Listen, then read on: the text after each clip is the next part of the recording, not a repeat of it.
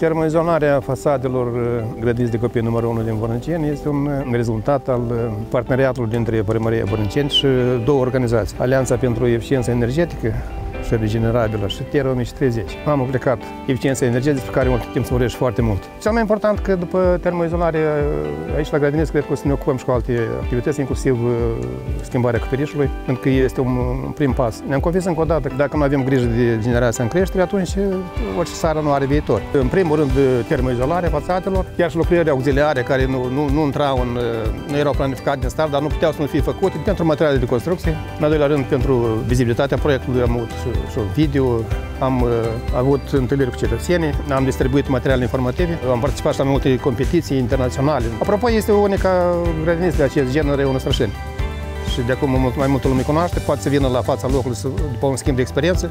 Noi putem să-i ajutăm cu niște sfaturi, chiar și cu un suport uh, uh, de informații mult mai detaliat.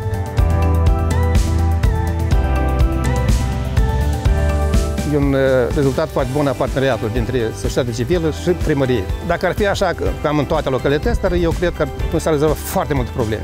În primul rând, administrația publică locală economisește bani, care mulți deja nu iau. Mai este o credit numărul 2, pentru că dacă s-a făcut la numărul 1, trebuie făcut și la numărul 2. Noi prea târziu ne-am, ne trezit cu eficiența energetică. Nu de Moldova poftim, noi suntem deschiși pentru colaborare cu dânsii.